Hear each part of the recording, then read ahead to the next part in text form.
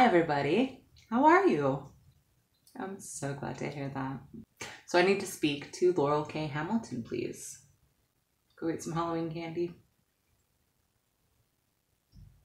Laurell K. Hamilton. When I found the Anita Blake Vampire Hunter series, I didn't realize what I found. I didn't realize how much it was going to impact me, impact my life. I didn't realize how deeply I would connect with it all. I jumped into the seventh book, Narcissus in Chains. I believe that's the seventh book. Um, like my mind was completely blown. It's kind of like a one-off. I didn't realize it was a whole series. I think I realized, but I, I smoked a lot of weed back then, so I probably just forgot. But the point is, I was transported completely to this amazing world where everybody understands that there are fantasy creatures just they just exist. read the seventh book, absolutely loved it, and then proceeded to forget about it for five years. Then I caught back up. I have never read a female protagonist or a heroine so badass before. When you start off in the first book, she's a different person. Anita is someone coming to terms with her powers and with a lot of things. From there, it's just like a ramp. it's a ramp to more fantastical scenarios, but it's also a ramp up to emotional things as well that I've never experienced a horror genre so emotional and so deep and so resonating the journey that Anita is on is relatable. If you've ever felt like an odd duck out, if you've ever felt like someone that has a deep well of sadness that will never be quenched, um, that would be me. Your characters don't only connect, they help you kind of purge your sadness. It's cathartic to read these characters developing new skill sets and new ways of dealing with their pain and their anguish. And like I said, I love that this is a fully functional world of vampires and zombies and were animals and magical things, but it's all very rooted in reality. I know you do a ton of research. The artillery that Anita uses, the weaponry, the all of that, I know that that's 100%. For a female who I love to support other females, but I don't always in the writing game, but I don't always connect with their writing. And I don't know if it's that you're a female and you can write through a male lens because you're in touch with your male side. I don't know what exactly the the mix is. I connected with Anita immediately. All of the characters immediately. I can't tell you how good it feels to have that type of connection reading is one of my all-time favorite things to do but i don't always have a book that i click with. I'm a writer too.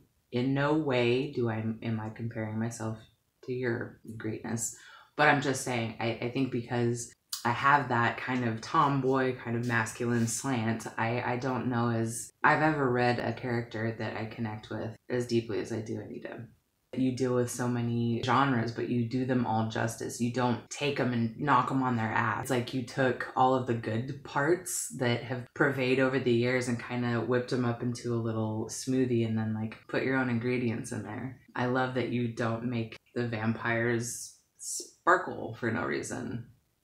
And I love that she's a natural necromancer. I think that's it's so cool. This series is so successful, but it's not a mainstream concept. Raw and real and horrific and orgasmic and blissful and amazing things within the series that isn't going to connect with everybody, but somehow you're still completely successful twice over the Merry Gentry series, which I haven't read. I'm kind of an Anita purist. You you have two different series in which captivated a, an audience of like loyal diehard fans. Any of your fans half where I'm at as far as diehardness, and we got your back.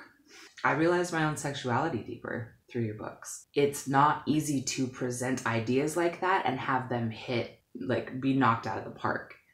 Sometimes when a writer isn't comfortable with what they're writing, you can feel that through the writing and you aren't comfortable with it.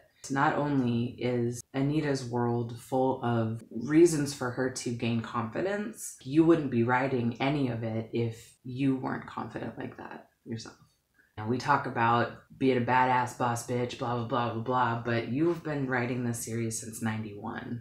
I owe you a, a tremendous gratitude of the example you set for so many people, let alone the this amazing series and all these characters. You set a tremendous example in how to show people, don't tell them. But anyway, yeah, so BDSM scenes, the homoerotic stuff, like that's that's hard for anyone to like be fully okay with as they read it you know the first time because either you're fully into it or not but it's like it's it's so intimate and it's so it's such a tricky thing to nail every time. It is just the right amount of everything. That is a talent. Thank you very much. And i prefer to read sexy stuff. I don't like watching it. That's like a double woo I've had two full sets of your series. The first one actually got sold in a storage unit. I just trusted that it was for a reason. So then I went, I set about on this magical wild goose chase to find in order the series again. I went to thrift stores, I went, to libraries, I went to bookstores, and I found all of them in order again. And so I read them all in order again.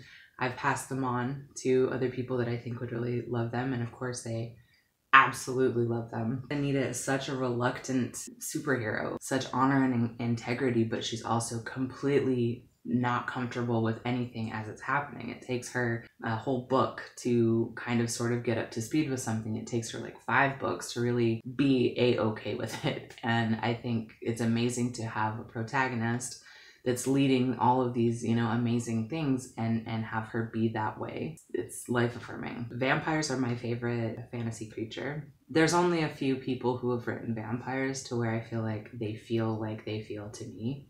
And you're definitely at the top of that list all of the characters are like my friends. Every time I read the latest novel, which I covet and I take my time, I, I do not read it all in one night. I, I spread it out over like a month or so so that I, I don't have to mourn the loss of you so quickly again. My character favorites are I love Nicky because of the close connection that he has with Anita. I absolutely love Nicky. I love Jean Claude.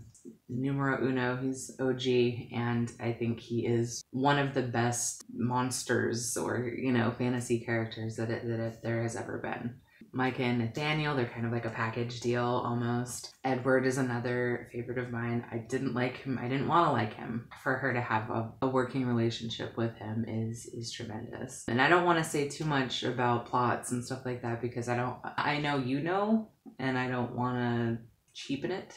I think I read in an article once, I think it was Entertainment Weekly, and they were doing a vampire thing because vampires all of a sudden were like a big deal. And you're just like, yeah, I know I've been doing it a while. They interviewed you because you're a pioneer of the whole genre before it was a thing. Um, you and Anne Rice. And they asked you, like, oh, would you ever do a screen adaptation? And I, if I remember correctly, you were like, no. There's no way I could do my world justice in two hours, you know, which I 100% agree with. However, I I would love, and I think all of your fans shoot me if I'm wrong, but I think your fans would really love something that's in the same vein as an offshoot, you know, maybe some similar notes and a few little like shout outs to your fans, you know, little Easter egg type things, but you would have to produce it in charge of it creatively the whole way through. Side note on that, I do think you've been ripped off in that area. Wildly popular teen series that came out while back.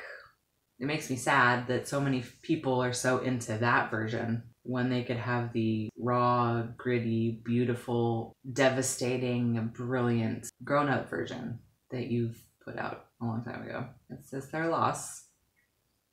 I have nothing but admiration and respect and a deep affinity for your work. I want to check out Terrible Fall of Angels. I believe that's the name of the Angel series that you just put out. Like I said, I I'm so close to Anita and her world, I don't know if I would be able to handle another world, but I'm gonna try. Thank you for kicking out another one because, as I've mentioned before, I have a thing for angels. So when I saw that you were writing in that genre, I was like, oh, I got really excited. In a way, an author is closer to you than any other type of artist because you're walking hand in hand with the author. Your imagination and the author's imagination get together and have this intimate, deep, sensual, exciting, very personal relationship. I can't thank you enough for all of the deep healing and deep excitement and riveted till four in the morning when I have to wake up at seven nights that I had. Discovering Anita, discovering her world, discovering all of her men,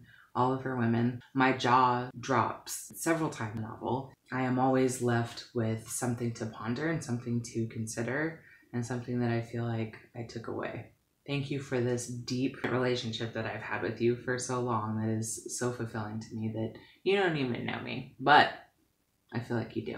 I feel like you know my heart because I resonate so deeply with what you write. I feel like I know your heart too. I know that sounds crazy. I think that's why fans are made. Share your soul with people when you share your art. And so, in that way, what you shared is just breathtaking. You. I don't ever want them to go away. I know at some point you'll probably have to stop writing them, but it's okay because I'll just reread the series periodically and, and as I do now, and and it'll be okay. I'll get new things from it each time, just like I do every time. And yeah. So thank you, Laurell K. Hamilton. If I'm ever in St. Louis, I would love to get together and shoot the shit. I would love that.